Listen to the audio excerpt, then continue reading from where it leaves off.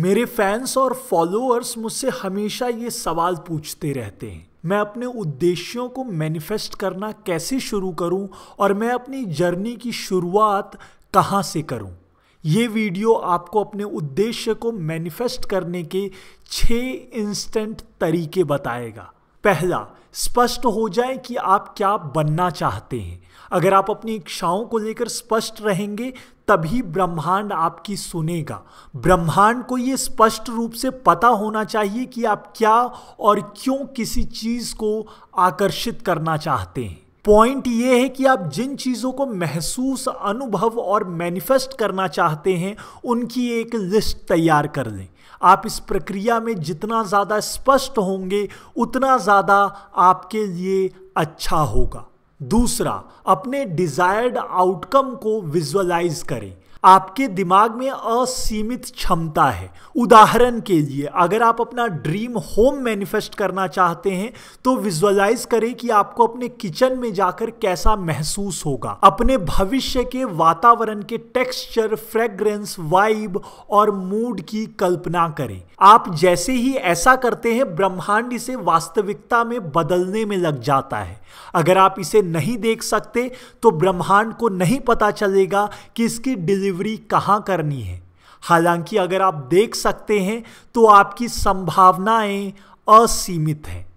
तीसरा, अपने भावनाओं को प्रोसेस करने की अनुमति दें। ब्रह्मांड आपकी वास्तविकता बनाने के लिए आपके भावनाओं पर प्रतिक्रिया देता है। हम इंसानों को अच्छे, बुरे, सभी दिनों का अनुभव करना पड़ता है। यह हमारे भरोसे और सहनशीलता की परीक्षा लेता है।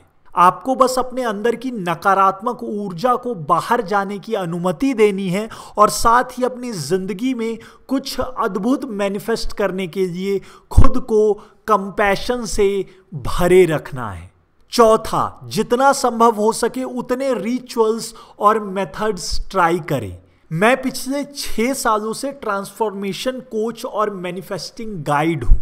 मुझे ये देखकर बहुत अच्छा लगता है कि लोग अलग अलग तरीकों से ब्रह्मांड तक अपने उद्देश्यों को पहुँचाने की कोशिश करते हैं। मैंने अपने 30 दिनों के master the law of attraction workshop में बहुत अलग अलग तरह के मैनिफेस्टिंग अप्रोचेस के बारे में बताया है। अगर आप मुझे जानते हैं तो आपको पता होगा कि मैं बस उन्हीं चीज़ों को शेयर करता हूँ जो मुझे सच में पसंद आती हैं। पांचवा मेडिटेट करें अफर्मेशंस को इस्तेमाल करें फ्लो के साथ जाएँ। दूसरे शब्दों में अपने वाइब्रेशन को रेज करें, क्योंकि लो वाइब्रेशन आपके मैनिफेस्टेशन को मार सकता है। जब आप अपने संदेह और डर पर ध्यान देने लगते हैं, तब आप अपनी ऊर्जा और भावनाओं को मैनेज करने की शक्ति को भूल जाते हैं। इसे करने का एक सबसे अच्छा तरीका मेडिटेशन है।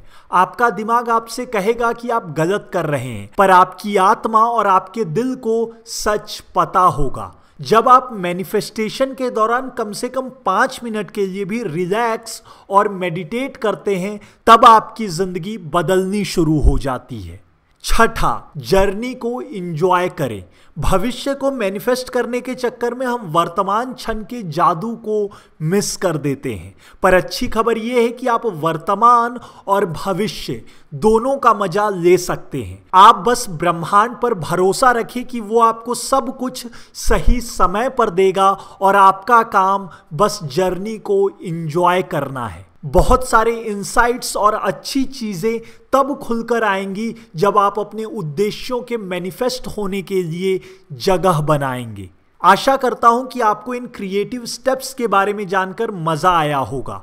मैं चाहता हूँ कि आप मेरे साथ मई में शुरू होने वाले 30 दिनों के master the law of attraction workshop का हिस्सा बने।